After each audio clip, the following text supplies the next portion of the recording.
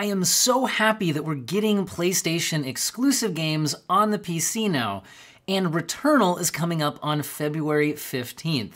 Now, this is a game that I've been really wanting to play, but I don't have a PS5, so I'm sure some of you guys are in the same boat. Seems like it's roguelike style, which I'm very interested in. I've actually been playing Hades recently. But with this announcement trailer, we can see that it should have ultra-wide support. I guess my fat head's in the way here. Ray-traced shadows as well as reflections. I don't believe the PS5 game had the reflections ray-traced, although I do think it had ray-traced shadows. And then if we hang on here, I think it gives us a little bit more. It does have Dolby Atmos support or other, uh, you know, 3D audio uh, could go on as long as you have headphones um, or compatible Dolby Atmos speakers. The DualSense controller features will be available on PC. Um, although you need a wired connection to the PC using the controller, which is a little bit annoying. I wish they'd get that up and running wirelessly. Um, but overall, it's looking like it should be a pretty fully featured um, PC port, but what are the system requirements? Because, as we said, uh, this game was a PlayStation 5 exclusive. Well, we have the developer blog here from PlayStation with a whole bunch of information here. Um, they do also uh, mention that DLSS and FSR are supported, as well as NIS for hardware that doesn't support DLSS or FSR, which would imply that this is FSR 2, since um, the original FSR 1 was basically the same kind of idea as NIS and wouldn't require any particular hardware level, although FSR 2 is supported on, on GPUs going back quite a ways. Now, what are the requirements? And well, another thing I'm really liking here is that they're giving us a, a wide variety of performance targets. We've got 720p 60 FPS, 1080p 60, 1080p 60 at high settings instead of medium, 4K 60 at epic settings, and 4K 60 um, epic settings with ray tracing. So they are specifying the ray tracing separately. And guys, I've got to say, PlayStation ports to PC lately have been doing a better job of being PC, you know, games like with, with all of the support for a variety of features and um, good system requirements lists, all of that.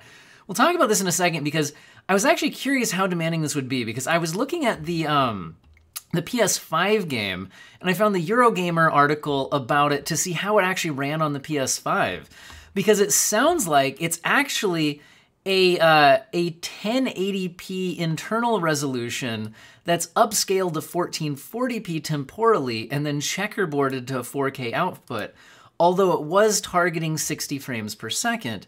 Um, but in other words, like this is not a game that's running, you know, native 4K on PS5 or anything like that. Um, so it is rendering below 1440p natively on the PS5. So what sort of system requirements are we hitting here? Well, let's just jump right in. Um, first things first, uh, let's get the quick ones out of the way, and then we'll get into the probably more important stuff. It looks like you need 60 gigabytes of space, and they highly recommend an SSD, although for the minimum requirements, they do say you could get by on a hard disk drive. Remember that new consoles uh, do not have a hard drive. They have fast NVMe uh, storage, and I really recommend if any of you are still storing games on your hard disk drive, you might want to look into getting SSDs for the games that are designed for SSDs as we get games that are no longer cross compatible with previous generation consoles. I think that will be more important. Um, also, the RAM minimum is listed at 16 gigabytes, and it does jump up to 32 gigabytes when we get up to the 4K epic settings and ray tracing. Um, although you can, it looks like you can get by with 16 gigabytes at, at reduced settings. Um, but and then um, now let's get into the most important part here, which are the GPUs. And for the most part, this seems to make sense and not be too bad of news. Um, now I understand that this performance target here at the minimum is only 720p 60 frames per second, but the good news is that we've seen some games targeting 720p like 30 frames per second uh, as their minimums in some of my recent system requirements videos. So at least we're getting 720p at 60 frames per second with the low settings, and it's the GTX 1060 and the Radeon RX 580. Those are generally comparable. I'm hopping over to the uh, relative performance chart at TechPowerUp, uh, this is my recommended quick way of checking the relative performance between GPUs. Um, there's other sites that do a similar thing like user benchmarks, but those tend to be less accurate in my opinion. And this also just lists most of the GPUs. Like you can find the one on their system requirements list, click it, and see how yours performs. That being said, this is not perfect. Different games and different game engines and graphics APIs will perform differently, um, plus or minus quite a bit from what you see here, but this is reasonable average performances to get a ballpark figure from. So the GTX 1060, do note that they are saying it is the um, it is the six gigabyte version. There was a three gigabyte version, and I think even a weird five gigabyte version. This is specifying the six gigabyte version and the RX 580 eight gigabyte version. I think there may have been a four gigabyte version of that card, and those are generally pretty comparable. So that's your way in the door, but you know, this was is still a very popular GPU. A lot of people have it. Looks like you'll at least be able to play the game. Now, do note that since this is targeting 60 FPS, if you were willing to play at 30 FPS, um, at 720p, I think you could, you know, while these are listed as minimum, I think you could have a weaker GPU. Um, although if you start running out of VRAM and such, that could cause more issues. So what GPUs would be similar performance to this minimum requirement? Now, this is similar to an RX 480, a GTX 690, R9 390X, 780 Ti, the GTX Titan. GTX 970 is a bit weaker than a 1060. It also only has 4 gigabytes of VRAM, so unclear whether that could be an issue. And you start kind of dropping from here. Popular GPUs like the GTX 1650 um, are significantly weaker than a GTX 1060, so this would probably be playing the game below 60 FPS, but probably in the range of playable still. RX 6400 and the Intel Arc A380 are recent but weak GPUs that are below the minimum requirements here, but again, close enough that you'd probably be able to at least play the game at a reduced frame rate. And again, you can pop in here and find your GPU. If you're at a 1050 Ti, you're down at like 63% of the performance.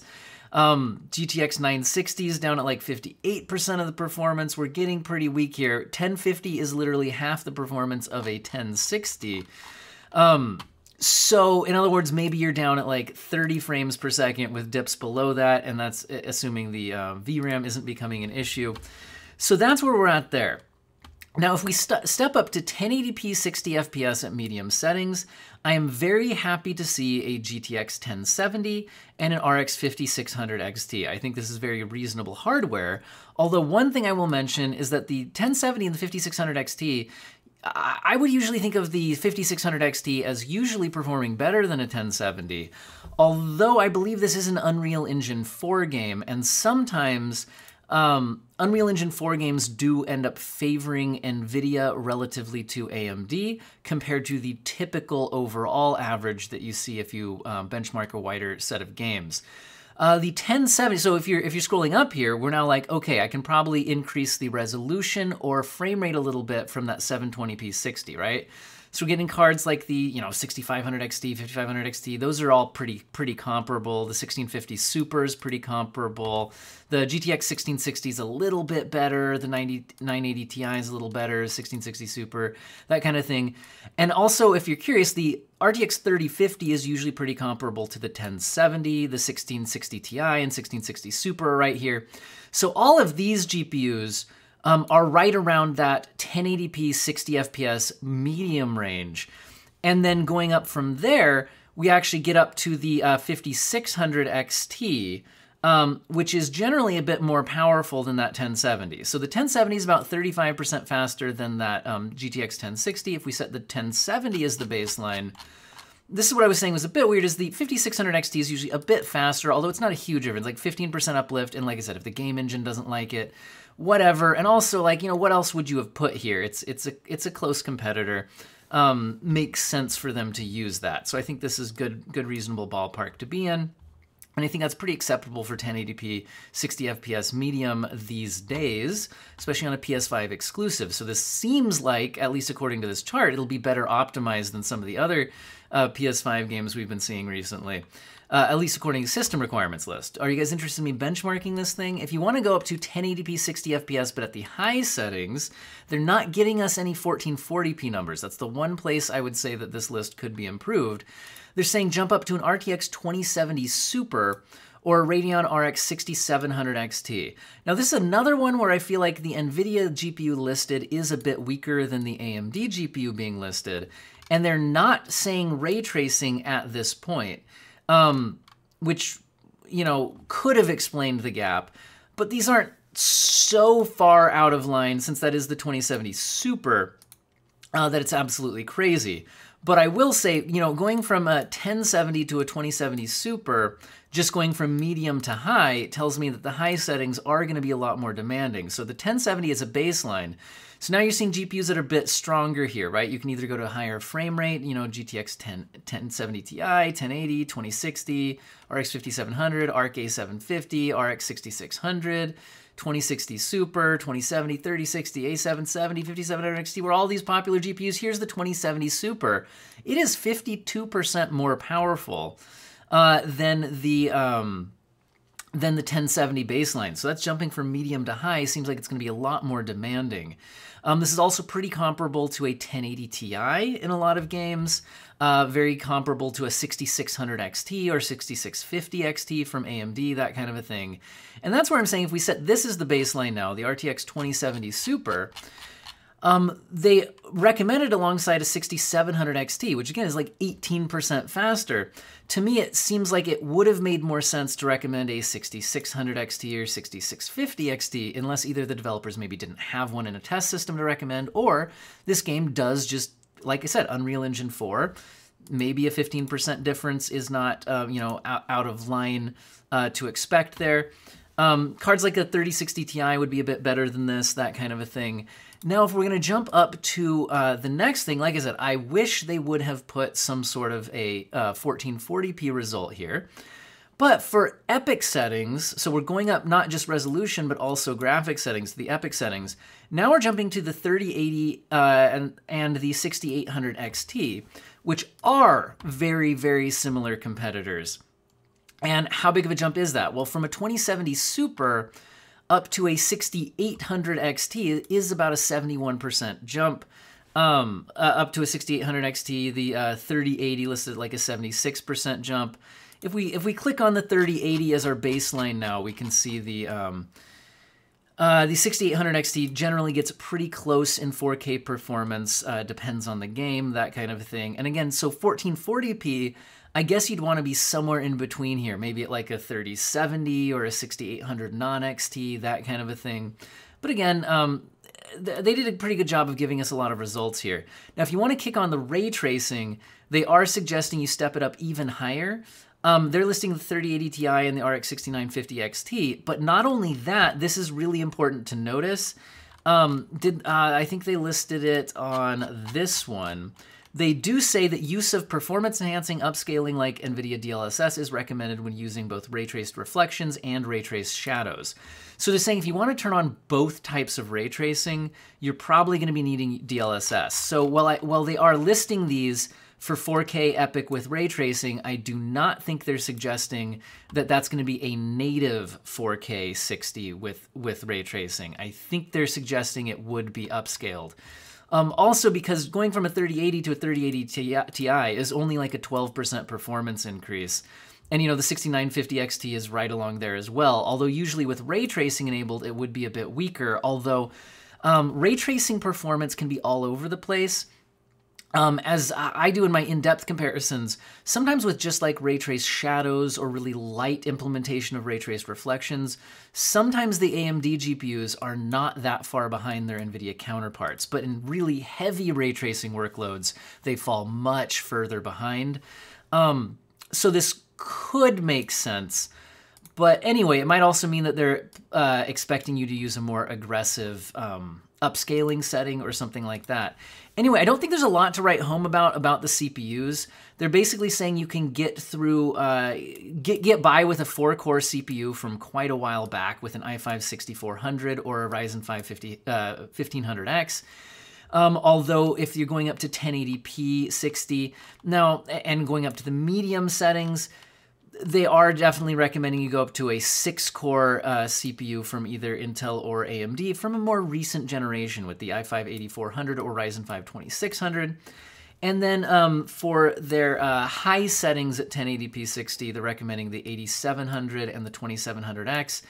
Now, to be honest, a lot of times turning up graphic settings doesn't have a huge impact on CPU, so they could also just be saying like, you know, averaging 60 FPS and then actually staying above 60 FPS are two different things. So that might also be why they're kind of recommending these. It could also just be what's built into their test systems that they were using these GPUs on when they were confirming it worked at these settings reasonably well. Um, for the 4K settings, again, jumping up to 4K would not usually increase your CPU load. Some graphic settings do, and this is increasing uh, your graphic settings a little bit. Now they're going up to the uh, i7 9700K or Ryzen 7 3700X, but still, these are not mind-blowingly powerful new CPUs or anything like that. And going with ray tracing, I actually do think it makes sense to jump up again. Usually the ray tracing workload does increase the CPU load as well as the GPU load. And we're seeing that go up to an 11900K, which is a fairly recent 8-core CPU, or the Ryzen 9 5900X, which is a fairly recent 12-core CPU uh, from AMD. So it'll be interesting to see how that goes. And again, jumping up to that 30, 32 gigabytes. Are you guys excited for this game? I definitely am. I'm interested in roguelikes um, and. Uh, you know, haven't been able to get into this one since I don't have the, the PS5. Also, I'm just very happy overall uh, to see that I think these system requirements, if this turns out to be true, are you interested in me benchmarking this thing? Um, I have a 1060. If this turns out to be true and actually playable at 60 FPS here, that's good compared to what we're seeing from games like Forspoken and things like that. So, anyway, I hope all of you have an excellent day.